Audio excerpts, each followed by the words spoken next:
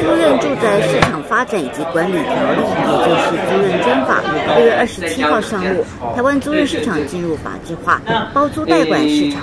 成为商机。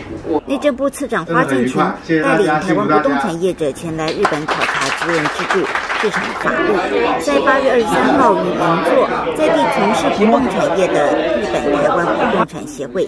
邀请台湾三十二名团员与协会成员参叙交流。他们虽然走了二十年，有一定的成熟度，但是看起来还是有一些，也不是做到那么的完整。但有一些真的做得很不错。我相信大家这几天看下来哈，应该心里面，因为哥大家拢讨给狼了哈，大家心里面应该给给减减了，都有抓到一些。可以期待的商机。考察团一行八月十九号来到日本进行五天行程，参访不动产研究所、宅都集团等单位，就法规、工会制度、租金、产业发展等层面进行考察。其中，日本不动产资讯透明，产业规模庞大，非台湾可比。但也因此，包括从业人员证照、定型化契约等，都是可学习的对象。对台湾来讲，因为台湾它本身经济体比较小嘛，所以或许某些部分来讲。哈，确实会有一些需要调整的。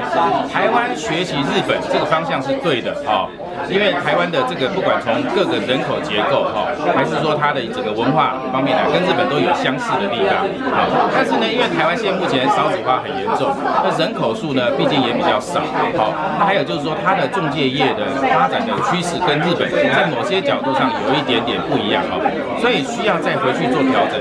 日本台湾不动产协会事务局长林嘉庆也说明了协会目前的业务，期待跟台湾业界有更多合作机会。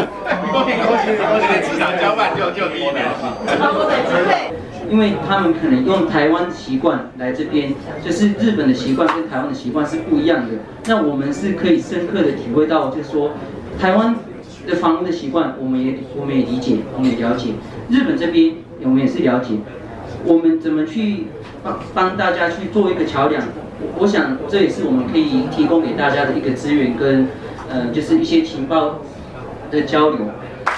如何让不动产业界了解包租贷款获利模式？也待借助日本业界数十年的经验，带给业者新的商业模式与商机，让租赁市场三方、房东、房客业者在法律下获得保障以及获益。台湾新闻东京报道。